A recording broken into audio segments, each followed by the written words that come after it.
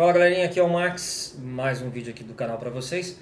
E hoje eu vou só finalizar, esclarecer melhor o que eu falei ontem no vídeo da questão do mercado envios e dar uma informação adicional desagradável pra gente.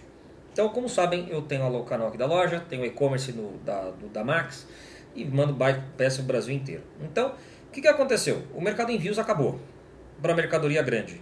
Então, já tínhamos o problema do frete para o Nordeste, agora entrou o adicional dos Correios do envio de mercadorias maiores, só que agora os Correios quadriplicou o custo. Então, como vocês viram ontem, pulou de 20 para 80. Muito bem.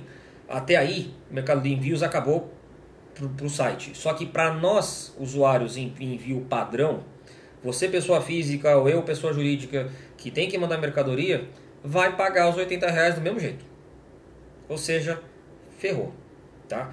Então aviso vocês, mercadorias acima de 70 centímetros é, quadrangular ou retangular, não pode ser é, mercadoria é, cilíndrica, vai pagar o valor a mais. Tá?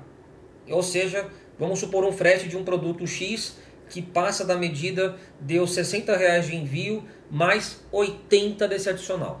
Motivo desse adicional que a gerente me explicou aqui da, da agência. Excesso de... Tá muito funcionário trabalhando em cima da, da, da que eles falam lá da triagem, né? Então, muita gente trabalhando em cima da triagem, sobrecarregando, né? O sistema deles, etc. Porque antes era automatizado.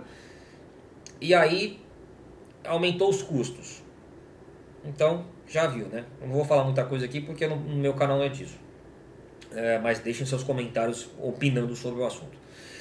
E aí só vim avisar vocês, porque agora, lamentavelmente, acabou pra gente. Né? Assim, quem tem e-commerce vai ter que dar, vai ter que rebolar, que nem eu vou ter que rebolar para poder fazer aí o cambalacho de envio de mercadoria. Então, agora daqui para frente eu vou mandar tudo por transportadora, que for mercadoria maior, porque infelizmente correio esquece.